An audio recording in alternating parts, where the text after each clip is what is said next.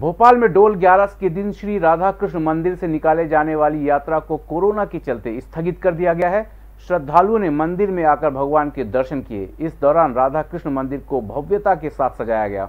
Corona के चलते प्रशासन ने किसी भी धार्मिक यात्रा पर रोक लगा रखी है, जिसको देखते हुए भोपाल के बरखेड़ी स्थित राधा मंदिर में यादव समाज द्वारा निकाले जाने वाली भव्य यात्रा को स्थगित कर दिया गया है। ढोल ग्यारस के अवसर पर राधा कृष्ण मंदिर को भव्य रूप दिया गया है। इस दौरान भगवान को नए वस्त्र पहनाए गए हैं और राधा कृष्ण भगवान की पालकी सजाई गई है। मंदिर के पुजारी ने सभी से अनुरोध किया है कि कोरोना के चलते सभी श्रद्धालु प्रशासन के नियमों का पालन करें।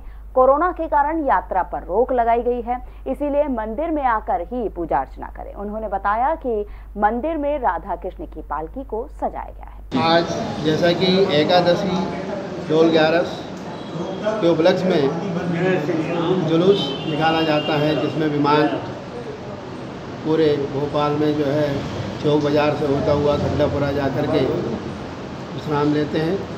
लेकिन इस कोरोना काल में के चलते आज जुलूस नहीं निकाला। हमने यहीं राधा कृष्ण मंदिर गलबन यादव समाज मंदिर में यहीं विमान तैयार करके, भगवान को तैयार करके यहीं जो है डोल ग्यारस का पूजन होगा।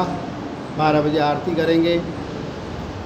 इसके उपरांत पाँच बजे शाम को केवल दो जने भगवान को हाथ में लेके जाएँगे ठंडापुरा वहाँ पूजन करके वापस वहाँ से घुमा करके अपने यहीं विश्राम करके फिर इनकी गोद भराई और पूजन पाठ आरती यहीं करेंगे। Rabindranath Tagore University, formerly known as ISECT University, the pioneers in skill development with focus on creating industry-ready professionals. Join India's premier skill-based university, Rabindranath Tagore University. संगीत की स्वर लहरियों से सांस्कृतिक ताने बाने तक चंबल के पीड़ों से नक्सलवादियों के गढ़ तक झोपड़ी से महलों तक ठेलों से मेलों तक पगडंडियों से सड़कों तक गाँव से शहरों तक व्यापार से उद्योगों तक। राजनीति से कूटनीति तक। दखन न्यूज़। आपके हक।